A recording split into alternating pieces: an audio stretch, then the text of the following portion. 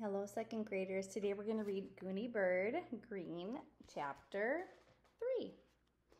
On Friday, Gooney Bird was wearing capri pants, a satin pink top, tank top, and a long string of pearls. Her red hair was twisted into one long braid, which was decorated with plastic flowers, and there were flip flops on her feet.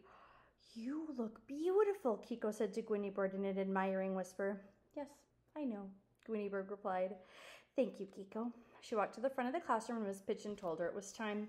Malcolm was in the back of the classroom. He was at his desk writing. I will never put anything in my nose 100 times on a piece of lined paper. The nurse had told him to do that. She said it would keep his hands busy.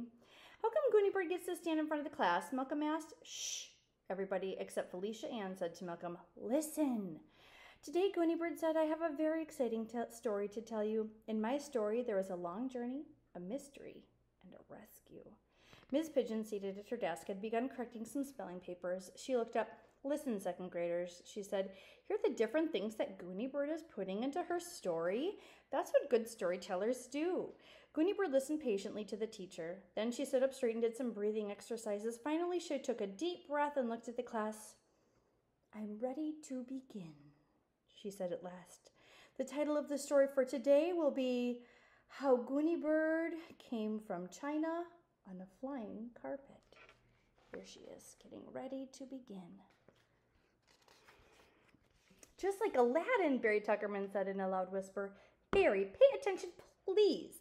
Gooney Bird said, I'd like to have absolutely all eyes on me.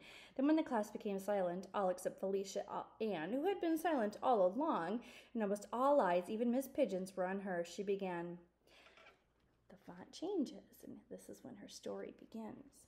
How Gooney Bird came from China on a flying carpet.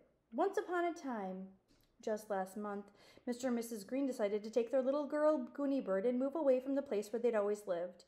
They'd always lived in China, but now Mr. Greene had a new job, and his new job was in Water Tower. That's here, Chelsea said aloud. I live in Water Tower. Gooney Bird stopped talking. She arranged her pearl necklace that it was draped over one shoulder. Me too, Tricia said. We all live in Water Tower, Ben pointed out.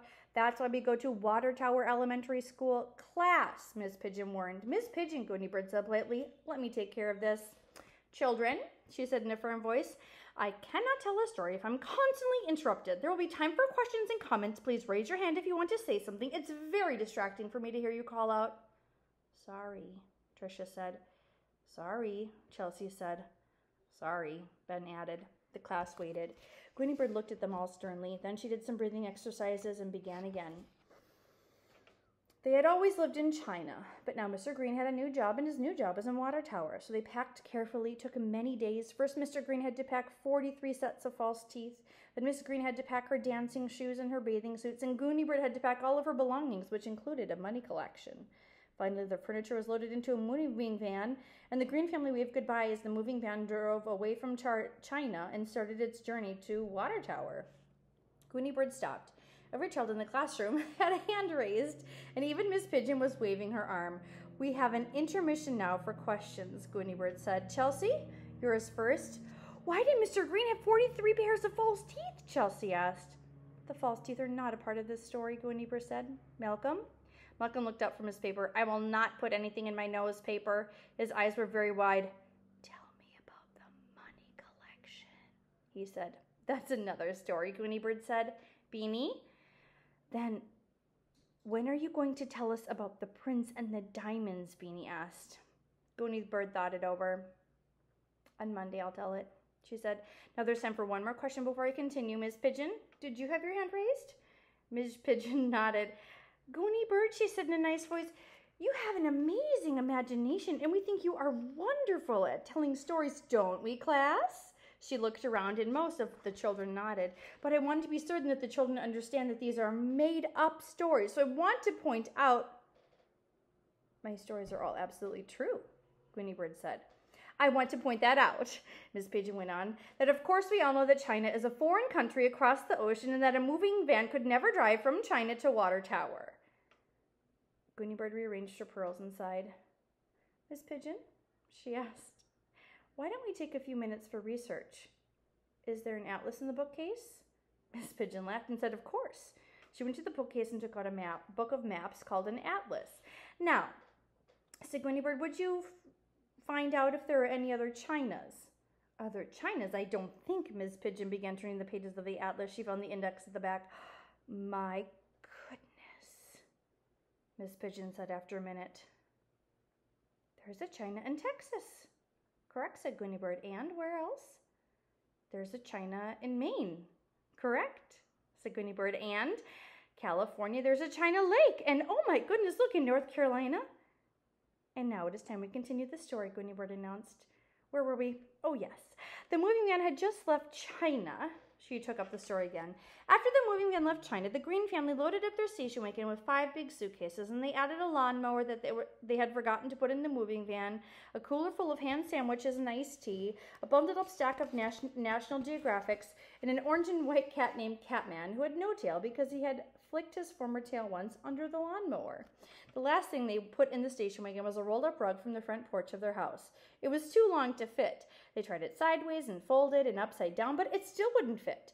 Let's leave it behind, Mr. Greene suggested, but Mrs. Greene began to cry. It was my mother's, she said. There's a stain on it where my mother spilled some black bean soup 40 years ago. I feel so sentimental about that rug.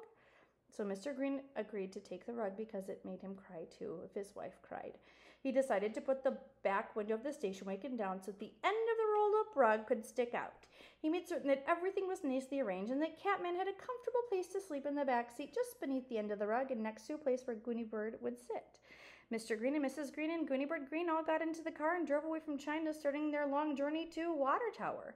They drove for many, many hours. They ate all of the ham sandwiches and drank all the iced tea. They stopped to get gas. They went to the bathroom. They played the car radio and listened to news and operas and football games and talk shows and about love relationships.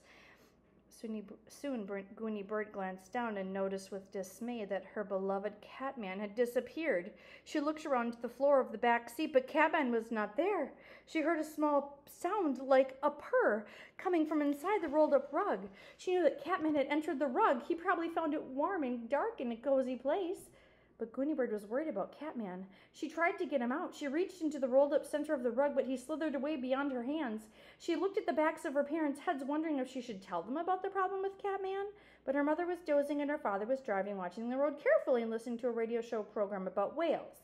So Gooney Bird decided to wiggle into the rug herself to rescue Catman. Oh no, Kiko said, I'm going to faint. Shh, the other children said. It was dark and dusty and a very tight squeeze inside that rolled up rug, but Gooney Bird wiggled inch by inch toward Catman. Catman slithered away inch by inch. She could see his glittering eyes as he backed away from her hands. Gooney Bird was determined to rescue him. She continued forward. Suddenly, an amazing thing happened. Even though Gooney Bird was not very large and did not weigh very much, and was not wearing her heavy diamond earrings from the palace that day, her weight inside the rolled up rug caused it to tilt. At that moment, Mr. Greene leaned forward to change the radio station, and the car went over a pothole in the road. That rolled up rug, containing both Catman and Gooney Bird, slid out of the back of the station wagon and flew through the air before it landed at the side of the road into some thick grass beyond a fence post. A cow chewing a purple flower looked curiously at it and then wandered away. The station wagon drove on around a curve in the road. Slowly, the rug unrolled. Catman's fur was standing on end, and if he'd had a tail, his tail would have been sticking straight up in the air. For a moment, Catman stood still, looking at Gooney Bird. Then he ran away very fast. Gooney Bird sat up. She was not entirely sure what had happened, but she was not hurt. She simply wondered where her family was, and her cat, and the car. Other cars stopped and people got out. Many people offered her a drink of water from their bottles of Evian, but Gooney Bird wasn't thirsty. After a while, a police car came with a flashing light. A TV reporter came and a cameraman, and when the policeman talked on his radio, the TV reporter, a woman with very large hair, interviewed Gooney Bird and called her the little girl who had a flying carpet ride. In the interview, Gooney Bird described Catman and asked people to call the station if they'd found him, but she never got Catman back. Eventually, the police car took her to her parents, where they were both crying at the gas station four miles down the road. When Gooney Bird and her parents were finally reunited, everyone, including a, two policemen, a TV reporter, and the gas station owner, hugged and kissed and did the tango. The end. What a lovely story, Miss Pidgeon said, an exciting one too, but a little sad to lose your kitty in that way.